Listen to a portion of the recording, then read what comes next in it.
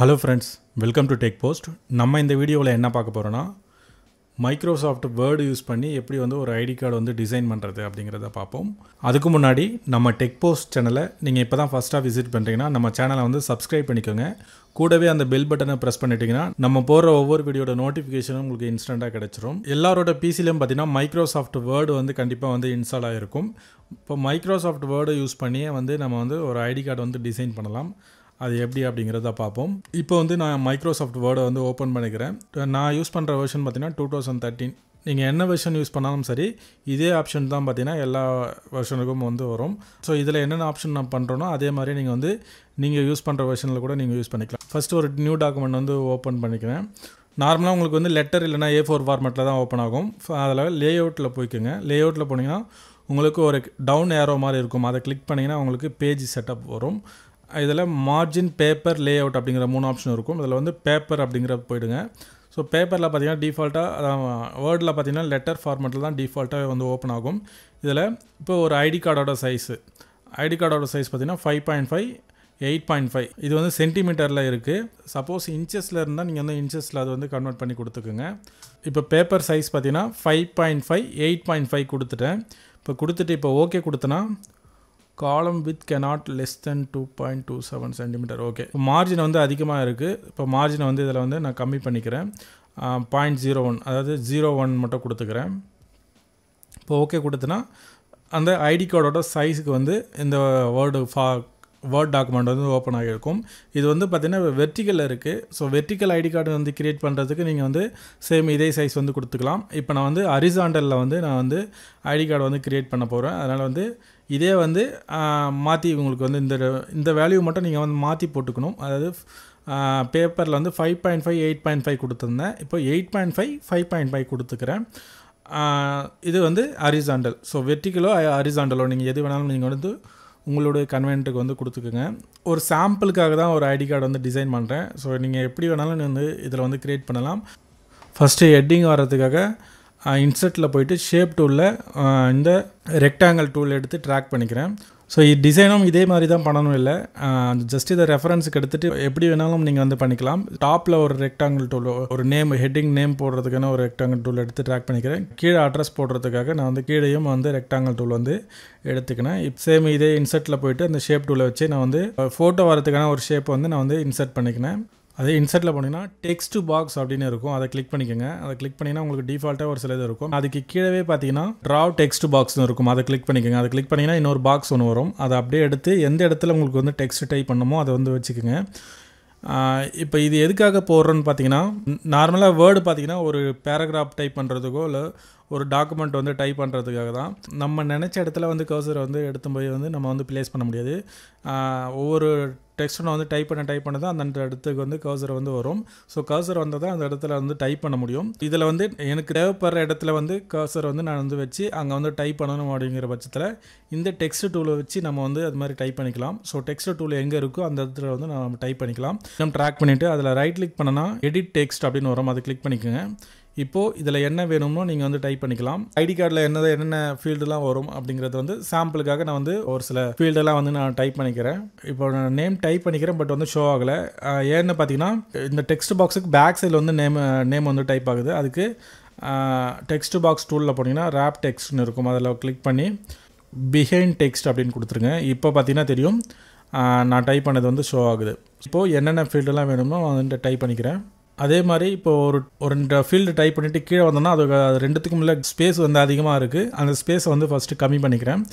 அதுக்கு இந்த double aero மாதிரி இருக்கும். அதை கிளிக் பண்ணிங்கன்னா உங்களுக்கு ரிமூவ் ஸ்பேஸ் ஆஃப்டர் பேராகிராஃப் அப்படின்னு ஒரு ஆப்ஷன் இருக்கும். அதையும் கிளிக் பண்ணிவிட்டு ரெண்டுத்துக்கும் உள்ள கேப் வந்து எவ்வளோ ஒன் பாயிண்ட் ஜீரோ ரெண்டு ஆப்ஷனை வந்து செலக்ட் பண்ணிக்கிறேன். இப்போ என்ட்ரு கொடுத்தனா நெக்ஸ்ட் லைனில் வந்து பக்கத்துலேயே வரும். எந்த ஃபீல்டு தேவைப்படுதோ அதை வந்து நீங்கள் டைப் பண்ணிக்கோங்க. நான் சாம்பிளுக்காக ஒரு சில ஃபீல்டு வந்து நான் டைப் பண்ணிக்கிறேன். டெக்ஸ்ட் பார்த்தீங்கன்னா ரொம்ப பெரிய சைஸில் இருக்குது அதனால் வந்து ஃபான் சைஸ் வந்து நான் வந்து சின்னது பண்ணிக்கிறேன். ஃபான் சைஸ் வந்து இப்போ வந்து எயிட் வச்சுக்கிறேன். எயிட் எல்லாம் ஓகே பட் வந்து ஸ்பேஸ் ரொம்பவே இது நெருக்கமாக இருக்கிற மாதிரி இருக்குது அதனால் வந்து இப்போ சே ஸ்பேஸ் வந்து ஒன் பாயிண்ட் ஃபைவ்னு கொடுத்துக்கிறேன். ஓகே இப்போ வந்து கரெக்டாக இருக்குது ஸோ அந்த டெக்ஸ்ட்டுக்கு ஏற்ற மாதிரி அந்த டெக்ஸ்ட் டூலையும் வந்து அட்ஜஸ்ட் பண்ணிக்கிறேன். அப்புறம் வந்து இதையே நான் வந்து இன்னொரு டூப்ளிகேட் எடுத்துக்கிறேன். டூப்ளிகேட் எடுத்து பார்த்தீங்கன்னா உங்கள் கீபோர்டில் கண்ட்ரோலுக்கு எடுத்துகிட்டு அப்படியே நீங்கள் வந்து லெஃப்ட் கிளிக் பண்ணாவே உங்களுக்கு வந்து இன்னொரு டூப்ளிகேட் வந்து அதில் இருக்க என்ன இருக்கோ அது அப்படியே வந்துடும் இப்போ டூப்ளிகேட் பண்ணிவிட்டு அதில் இருக்கிற டெக்ஸ்ட்லாம் ரிமூவ் பண்ணிவிட்டு ஜஸ்ட் நான் வந்து கோலன் மட்டும் கொடுத்துக்கிறேன். ஒரு அந்த ஃபீல்டுக்கு நடு ரெண்டு ஃபீல்டுக்கும் நடு அந்த ஃபீல்டுக்கு நடுவில் பார்த்தீங்கன்னா கோலன் இருக்கும். அந்த கோலன் வந்து கொடுத்துக்கிறேன். இப்போது அதுக்கு அந்த சைஸுக்கு ஏற்ற மாதிரி நான் வந்து அதோட ஸ்பேஸ் வந்து அட்ஜஸ்ட் பண்ணிக்கிறேன். இப்போது இதில் இருக்கிற அவுட்லைன் வந்து ரிமூவ் பண்ணணும். ஸோ அவுட்லைனில் ரிமூவ் பண்ணுறதுக்கு ஷேப் அந்த டெக்ஸ்ட் பாக்ஸ் டூலில் பண்ணிங்கன்னா ஷேப் அவுட்லைன் இருக்கும். அதை கிளிக் பண்ணிங்கனாவே உங்களுக்கு நோ அவுட்லைன் அப்படின்னு இருக்கும். அதை கிளிக் பண்ணிங்கன்னா உங்களுக்கு வந்து அதுக்கு ரெண்டுத்துக்கும் மேலே அவுட்லைன் வந்து போயிடும். நார்மலாக உங்களுக்கு வந்து டெக்ஸ்ட் பாக்ஸ் மட்டும் தான் இருக்கும். இப்போ உங்களுக்கு எந்த இடத்துல தேவைப்படுமோ நீங்கள் கரெக்டாக ப்ராப்பராக வந்து அதை வந்து அட்ஜஸ்ட் பண்ணிக்கிறோங்க. இப்போ எதுக்காக இந்த டெக்ஸ்ட் பாக்ஸ் இந்த டெக்ஸ்ட் பாக்ஸ் டூலை வந்து எடுத்தேன்னு உங்களுக்கு தெரிஞ்சிருக்கும். நார்மலாக வேர்டில் பார்த்தீங்கன்னா உங்களுக்கு இது மாதிரி கரெக்டாக ஒரு இடத்துல உங்களுக்கு நினைக்கிற இடத்துல நீங்கள் வந்து டைப் பண்ண முடியாது. அதனால தான் இந்த டெக்ஸ்ட் பாக்ஸ் டூலை எடுத்து நான் வந்து டைப் பண்ணிக்கினேன். அதுக்கப்புறம் பார்த்தீங்கன்னா டாப்பில் இருக்க இந்த நேம் வர இடத்துக்கும் கீழே அட்ரஸ் வர இடத்துக்கும் நம்ம வந்து ரெண்டு கலர் வந்து உங்களுக்கு எந்த க கலர் வந்து கன்வென்ட்டாக இருக்கோ அந்த கலர் வந்து ஃபில் பண்ணிக்கோங்க. நான் இப்போ வந்து ஸோ ப்ளூ ஆரஞ்ச் அப்படிங்கிற ரெண்டு கலர் வந்து நான் வந்து ஃபில் பண்ணிவிட்டு அதே டெக்ஸ்ட் டூலே எடுத்து நான் வந்து இப்போது நேம் வந்து ஸ்கூல் நேம் ஒன்று டைப் பண்ணிக்கிறேன். ஸோ உங்கள் இன்ஸ்டியூஷன் நேமோ அல்லது கம்பெனி நேமோ நீங்கள் எது வேணாலும் டைப் பண்ணிக்கோங்க. நான் ஒரு நேம் தான் டைப் பண்ணிக்கிறேன். ஸோ இது ஃபாண்ட்டு ஃபாண்ட் சைஸு ஃபாண்ட்டோட ஸ்டைல் எது வேணாலும் நீங்கள் வந்து சூஸ் பண்ணிக்கலாம். அப்புறம் வந்து அட்ரஸ் இப்போ அட்ரஸும் சேம் இதே தான். இதே டெக்ஸ்ட் பாக்ஸ் யூஸ் பண்ணி அட்ரஸ் வந்து டைப் பண்ணிக்கோங்க. அந்த ஸ்பேஸுக்கு ஏற்ற மாதிரி உங்களுடைய அட்ரஸ் சைஸு சூஸ் பண்ணிக்கோங்க. இப்போ வந்து அட்ரஸ் ஃபோன் நம்பர் எல்லாம் வந்து டைப் பண்ணி அதுக்கப்புறம் பார்த்தீங்கன்னா ஐடென்டிட்டி கார்டு அப்படின்னு வந்து ப்ளேஸ் பண்ணலாம் அதுக்கு ஷேப் டூல் எடுத்து நான் வந்து ட்ரா பண்ணிக்கிறேன். இது வந்து வேறு கலர் வந்து கொடுத்துக்கலாம். பேக்ரவுண்டில் வந்து ஒரு எல்லோ மாதிரி வந்து கொடுத்துக்கலாம். நார்மலாக ஷேப் டூல் ட்ரா பண்ணால் உங்களுக்கு வந்து ஒயிட்டில் தான் வரும். அதில் ஷேப் ஃபில்லில் போய்ட்டு நான் வந்து எல்லோ மாற்றிக்கிறேன் இப்போ இதில் என்ன கல இதில் வந்து ஐடென்டிட்டி கார்டு அப்படின்னு வந்து டைப் பண்ணிக்கலாம். சேம் இதே தான் உங்களுக்கு இந்த டெக்ஸ்ட் டூலே எடுத்து ஐடென்டி கார்டு அப்படின்னு வந்து போட்டுக்கலாம். கரெக்டாக அந்த இடத்துல வந்து ப்ளேஸ் பண்ணிக்கினேன். ஸ்பேஸ்க்கு ஏற்ற மாதிரி நீங்கள் வந்து அதை வந்து ப்ளேஸ் பண்ணிவிடுங்க அதுக்கப்புறம் வந்து லோகோ ஸ்கூலோட லோகோ இப்போ இன்சர்ட்டில் போயிட்டு பிக்சரில் கொடுத்துருங்க. பிக்சரில் போயிட்டு லோகோ எந்த இடத்துல இருக்கோ அதை வந்து சூஸ் பண்ணிக்கோங்க.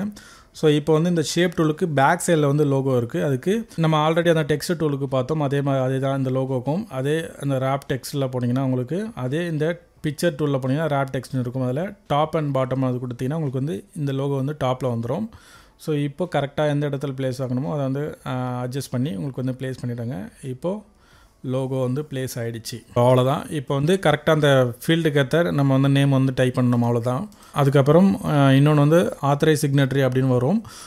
அதே நான் டெக்ஸ்ட் டூவில் எடுத்துகிட்டு ஆத்தரைஸ் சிக்னட்ரி அப்படின்னு போட்டுக்கிறேன். ஸோ உங்களுக்கு எந்த இடத்துல ஐடி கார்டில் வந்து ப்ளேஸ் ஆகிறமோ அந்த இடத்துல வந்து ப்ளேஸ் பண்ணிக்கோங்க. ஆமாம் அது கலர் என்னமோ நீங்கள் கொடுத்துங்க. அப்புறம் வந்து சிக்னேச்சர் வந்து இம்போர்ட் பண்ணிக்கலாம். இன்சர்ட்டில் போய்ட்டு பிக்சரில் போனீங்கன்னா உங்களுக்கு வந்து சிக்னேச்சரில் வந்து இம்போர்ட் பண்ணிக்கலாம். சேம் அதே தான் அந்த கரெக்டாக உங்களுக்கு வந்து தெரியலனா நீங்கள் வந்து இந்த ராப் டெக்ஸ்ட்டில் போய் அட்ஜஸ்ட் பண்ணி உங்களுடைய ஸோ எந்த ஆப்ஷனில் வந்து உங்களுக்கு டாப்பில் வருதோ அந்த ஆப்ஷன் வந்து சூஸ் பண்ணிக்கோங்க. இப்போது சிக்னேச்சர் வந்து கரெக்டாக நான் வந்து அந்த சைஸுக்கு ஏற்ற மாதிரி நான் வந்து ஃபிக்ஸ் பண்ணிக்கினேன் அவ்வளோதான் இப்போது சிக்னேச்சரும் போட்டாச்சு. அதுக்கப்புறம் அந்த ஃபீல்டுக்கான டெக்ஸ்ட் மட்டும் தான் நான் வந்து டைப் பண்ணணும். அதே இந்த ஃபீல்டுக்கு காலமே நான் வந்து லெஃப்ட் கிளிக் பண்ணி கண்ட்ரோல் லெஃப்ட் கிளிக் பண்ணி நான் வந்து ட்ராக் பண்ணிக்கினேன் இப்போ உங்களுக்கு அதே அப்படியே வந்துடும் அதுக்கப்புறம் என்ன தேவைப்படுமோ உங்களுடைய டீட்டெயில்ஸை வந்து நீங்கள் வந்து இதில் டைப் பண்ணால் போதும்.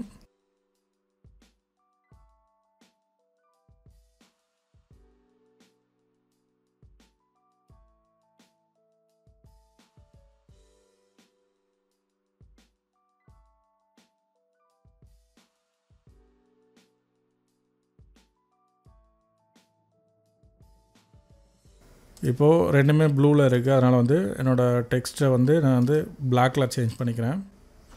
ஓகே கண்ட்ரோல் கொடுத்துட்டு அந்த வந்து கலர் கொடுத்தா பிளாக்கில் மாறிடும். இப்போது எல்லாமே நம்ம வந்து இதை போல்டும் பண்ணிக்கலாம். நல்லா ப்ராஜெக்டடாக தெரியும். அதுக்கப்புறம் எல்லாமே இப்போ வந்து கம்ப்ளீட்டாக முடிஞ்சது. ஸோ ஃபோட்டோ மட்டும் தான் இன்சர்ட் பண்ணணும். ஃபோட்டோ இன்சர்ட் பண்ணுறதுக்கு இப்போ இந்த ஃபோட்டோவோட ஷேப் டூல் இருக்குது அந்த ஷேப் டூலில் கிளிக் பண்ணிவிட்டு டாப்பில் பார்த்தீங்கன்னா ட்ராயிங் டூலில் வந்து ஃபார்மேட்டில் போனீங்கன்னா உங்களுக்கு ஷேப் ஃபில்லுன்னு இருக்கும்.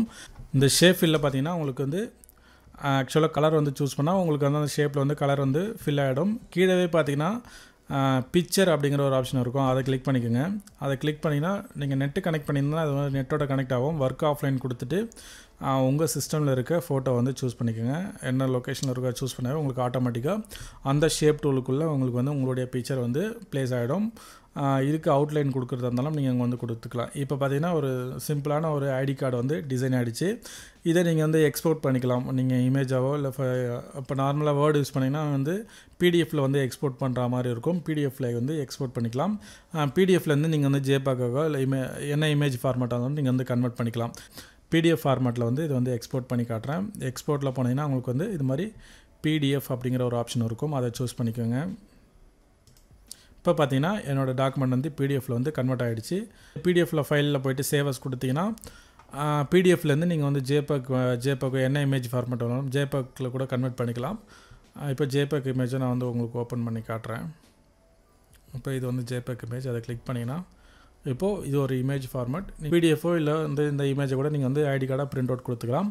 இன்னும் கர்வ் டிஸ் எல்லாம் யூஸ் பண்ணி ஒரு ப்ரொஃபஷனலான ஐடி கார்டு வந்து டிசைன் வந்து எப்படி பண்ணுறது அப்படிங்கிறத நான் இன்னொரு வீடியோ வந்து கண்டிப்பாக வந்து போஸ்ட் பண்ணுறேன் ஸோ இந்த டிசைன் டெம்ப்ளேட் எல்லாமே உங்களுக்கு வந்து கீழே வீடியோக்கு கீழே டிஸ்கிரிப்ஷனில் இருக்கும். உங்களுக்கு தேவைப்பட்டுச்சுன்னா வந்து கிளிக் பண்ணி டவுன்லோட் பண்ணிக்கோங்க. அதுக்கப்புறம் நூறு ப்ரொஃபஷனல் ஐடி கார்டு டிசைன்ஸ் இது வந்து ஃபோட்டோஷாப் ஃபார்மேட்டில் இருக்கும். நீங்கள் வந்து ஃபோட்டோஷாப் வந்து யூஸ் பண்ணுறவங்களா இருந்தால் இந்த டிசைன்ஸ் வந்து நீங்கள் வந்து டவுன்லோட் பண்ணி யூஸ் பண்ணிக்கலாம். நூறு அரிசாண்டல் வெர்டிக்கல் ரெண்டுமே அதில் வந்து கலந்த மாதிரி தான் இருக்கும். அதோட டவுன்லோட் லிங்க் வந்து கீழே கொடுக்குறேன். உங்களுக்கு தேவைப்படுச்சுன்னா சின்ன ஒரு டொனேஷன் மாதிரி இருக்கும். அது மட்டும் நீங்கள் பே பண்ணிவிட்டு நீங்கள் வந்து நூறு டிசைன்ஸை வந்து நீங்கள் வந்து டவுன்லோட் பண்ணி யூஸ் பண்ணிக்கலாம். ஓகே ஃப்ரெண்ட்ஸ் இந்த வீடியோ பிடிச்சிருந்தா இந்த வீடியோக்கு ஒரு லைக் பண்ணுங்கள் இந்த வீடியோ மறக்காமல் உங்கள் ஃப்ரெண்ட்ஸுக்கும் ஷேர் பண்ணுங்கள் இது மாதிரி யூஸ்ஃபுல்லான இன்ஃபர்மேஷன் எல்லாமே உங்களுக்கு இன்ஸ்டண்ட்டாக கிடைக்கணும் அப்படின்னு நினச்சிங்கன்னா நம்ம டெக் போஸ்ட் சேனலில் வந்து சப்ஸ்கிரைப் பண்ணிக்கோங்க. அடுத்த ஒரு நல்ல வீடியோவில் பார்ப்போம். நன்றி வணக்கம்.